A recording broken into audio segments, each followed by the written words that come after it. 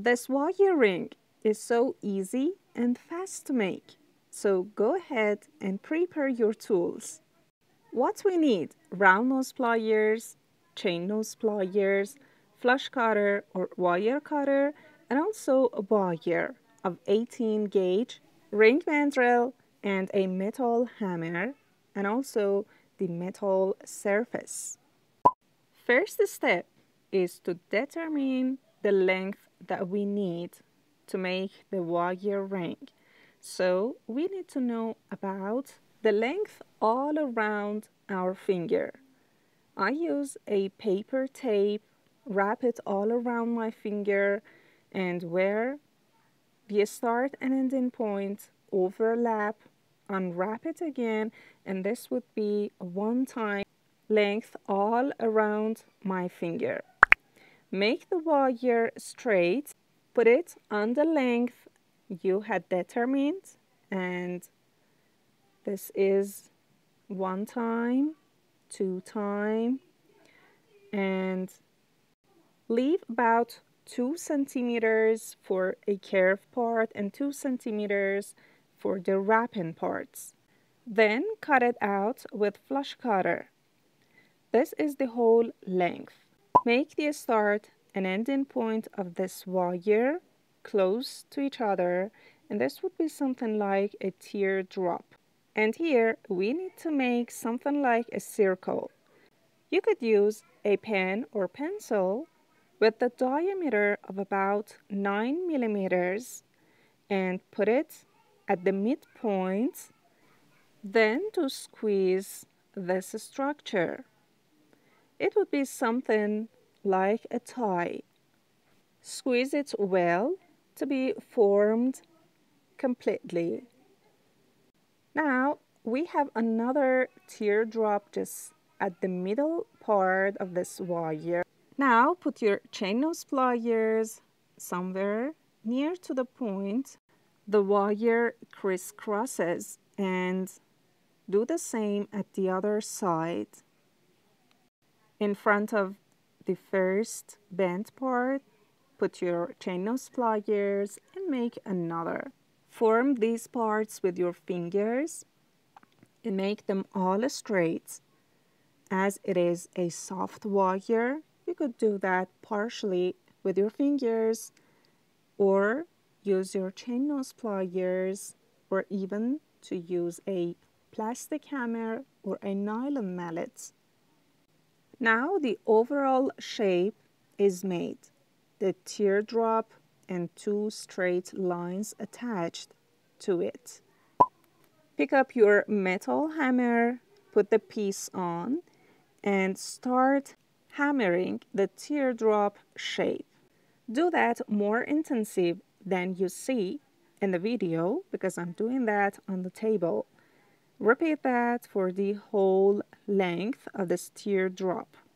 That would be something like this, a flattened and hammered part that we are going to make it rounded by putting it on the ring mandrel.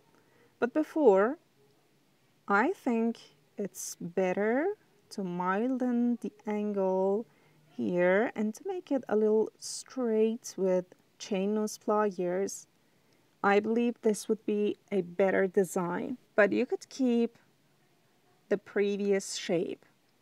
Now this is the time for putting it on the ring mandrel and at the point we determined as the ring size and we could find it out by wrapping the paper tape all around the ring mandrel and where start and ending point meet each other that would be the best place to wrap your ring all around.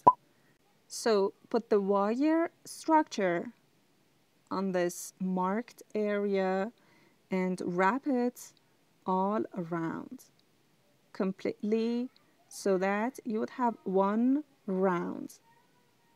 Make the left side a little close and for the other side you could see we have extra parts what we are going to do with them, I'm going to tell you now. Pick up your round nose pliers and make one of them.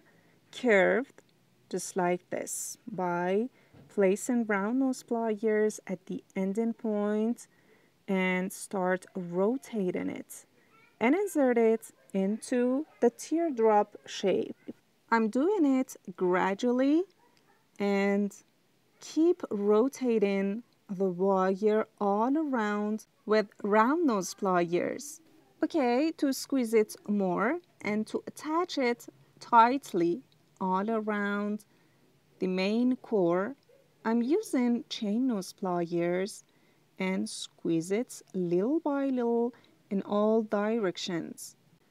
This is the first round. I wrapped the wire all around and I'm continuing that for the second round. Again, the first curve and squeezing it with chain nose pliers. And I'm doing that till it attaches tight. And also the ending point so that there wouldn't be any sharp edges left. Repeat the same for the other side. So again, I'm picking round nose pliers, make the first curve and insert it in. I pull it at the other side and make something like a loose loop all around and this is the time to squeeze it with chain nose pliers but before check out both rings to be at the same size and then continue squeezing it. Well, this is the time to squeeze it with chain nose pliers and rotate it simultaneously to be wrapped all around. This is how we wrap a thick wire and do the same for the ending point. That's almost done. I'm squeezing the ending point well so that it wouldn't be any sharp edges left. Though this is better to use your jewelry file to make it all smooth and soft. And this is so important because it would touch your finger. Let's check it out and that's all good. Now, the final additions, if needed, use your chain nose pliers to squeeze those wrapping parts to be closed and parallel. At the end, insert it into the ring mandrel and if needed, push it to the point that you had marked as your ring size. And that's ready our very beautiful, easy and fast wire ring. You could decorate it with pearl, stone, or beads. What's your taste? Please tell me in the comments. Also, that's a good matching for the bangle we had in the last tutorial. Hope you had enjoyed. Take care.